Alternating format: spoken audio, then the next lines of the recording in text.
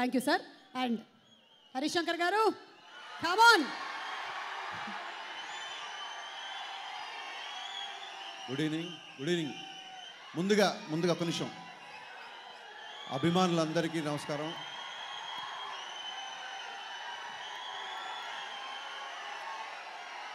మీ అందరికీ ఒక చిన్న రిక్వెస్ట్ మీ అందరికీ ఒక చిన్న రిక్వెస్ట్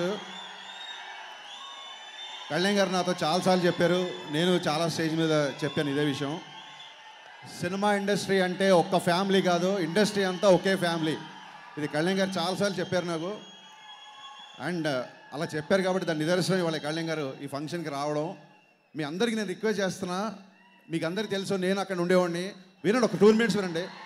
మీరు బయట సినిమా బయట సినిమా ఫంక్షన్కి కళ్యాణ్ గారు వచ్చినప్పుడు మీరు కనుక డిస్టర్బెన్స్ చేయకుండా ఫంక్షన్ సజావుగా సాగి ఆర్టిస్టులందరికీ రెస్పెక్ట్ ఇస్తే ఆయన ఇంకో పది ఫంక్షన్కి వస్తారు మనం బయట ఆయన చూడొచ్చు.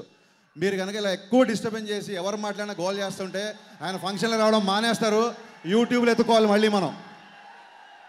దయచేసి దయచేసి దయచేసి కాకుండా నాకు తెలుసు మీరు అరుస్తారు చెప్తాను చెప్తాను ఒక్క నిమిషం ఆగండి ప్లీజ్ బయట చాలామంది మాట్లాడుకుంటున్నారు మైత్రి మూవీ మేకర్స్లో కళ్యాణ్ గారి కాంబినేషన్లో సినిమా. డెఫినెట్గా సినిమా అంటే బయట చాలా న్యూస్ వస్తుంది. ఎప్పుడు ఉంటుంది? ఉంటే ఎలా ఉంటుంది? ఆ సినిమా గురించి మాట్లాడి నేను ముందుకెళ్తా. వినండి ఒక్క నిమిషం. సినిమా ఎలా ఉంటుంది? ఎప్పుడు ఉంటుంది? ఉంటే ఎప్పుడు ఉంటుంది? అసలు ఉంటుందా? ఇలాగ చాలా న్యూస్లు చాలా వెబ్సైట్లు చాలా మంది చాలా రకాలుగా మాట్లాడుతున్నారు. ఒకటే చెప్పగలుగుతున్నా నేను. సినిమా ఎప్పుడున్నా సరే మీరు మళ్ళీ మళ్ళీ చూసేలా ఉంటుంది. మళ్ళీ పది కాలాల పాటు డైలాగులు సెయిన్లు పాటలు అన్నిటి గురించి మాట్లాడగలలా ఉంటుంది. అంతకంటే ఆ సినిమా గురించి ఎక్కువ చెప్పే సమయం సందర్భం ఇది కాదు.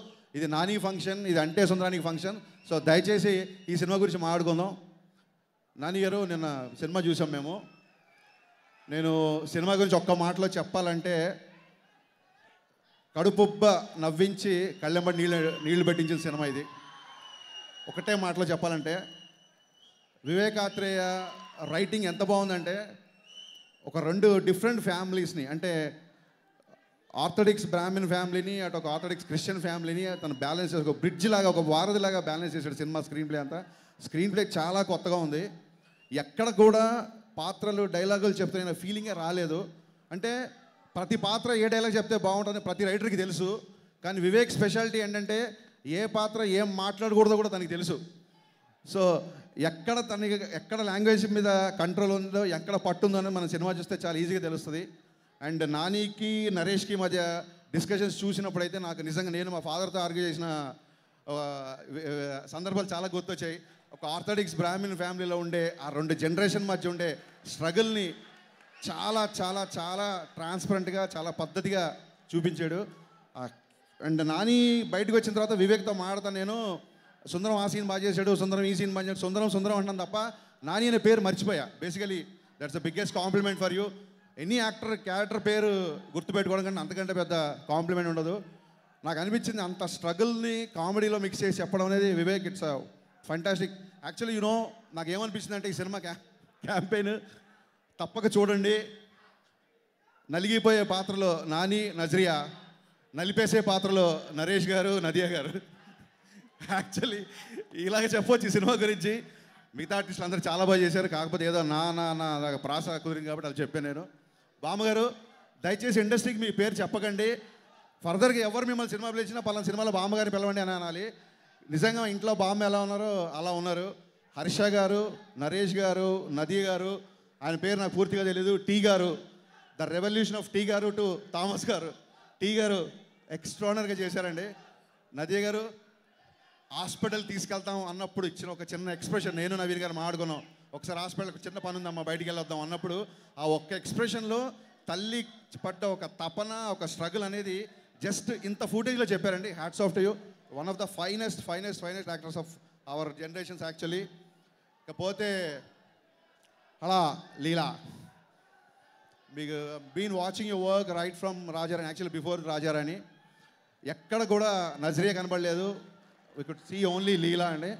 And that's the best compliment you and welcome to Telugu film industry we all are waiting to work with you you did a fantastic job పోతే వివేక్ సాగర్ గురించి చెప్పాలి. ప్రతి సీన్ నేను బయటకు వచ్చి ఇదేంటే సినిమానా ఏమైనా నృత్య రూపకం అన్నా నేను చిన్నప్పుడు దూరదర్శన్లో నృత్య రూపకం ప్రాయోజిత కార్యక్రమం అని వచ్చేది. అస్సలు ఎక్కడ కూడా మ్యూజిక్ గ్యాప్ లేకుండా ప్రతి ఎమోషన్ని ప్రతి సీన్ని మ్యూజిక్తో చాలా బాగా తీసుకెళ్ళారు. ఈ సినిమా కొంచెం పెద్ద సినిమా. ఎందుకంటే పెద్ద మనుషుల గురించి చెప్పిన సినిమా పెద్ద మనసుల గురించి చెప్పిన సినిమా. డెఫినెట్గా ఈ సినిమాకి ఆ స్పేస్ అవసరం. ఈ సినిమాని ఆ స్పేస్లోనే చెప్పాలి. పోతే మీరు ఇందాక అరుస్తున్నారు నన్ను మాట్లాడట్లేదు థ్యాంక్ యూ మాట్లాడుతున్నాను మాట్లాడుతున్నాను. మంచి సినిమాలు మంచి టాలెంట్ మంచి సినిమాలు మంచి టాలెంట్ ఎక్కడున్నా ఎక్కడున్నా కళ్యాణ్ గారు ఎంకరేజ్ చేస్తారు. నితిన్ సినిమాకి వచ్చినా ఇవాళ నాని సినిమాకి వచ్చినా ఈ బిలీవ్స్ ఇన్ సినిమా నేను చాలాసార్లు చెప్పాను. మళ్ళీ చెప్తున్నాను. గెలుపు కోసం గెలుపు కోసం పరిగెత్తేవాడు గెలిచిపోయిన తర్వాత ఆగిపోతాడు.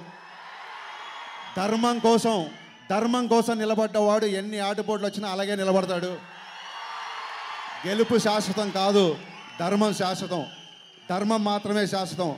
ఆ ధర్మం కోసం నిలబడ్డాడు కాబట్టే కళ్యాణ్ గారికి మన గుండెల్లో స్థానం శాశ్వతం. ఆయన క్రేజ్ కూడా అంతే శాశ్వతం. Thank you thank you one all thank you so much Harishankar garu and Gopichand Malineni గారు థ్యాంక్ యూ ఈ కుర్రాడిని చూస్తే నాలాంటి వాడు అనుకుంటారు లేదా నీలాంటి వాడు అనుకుంటారు.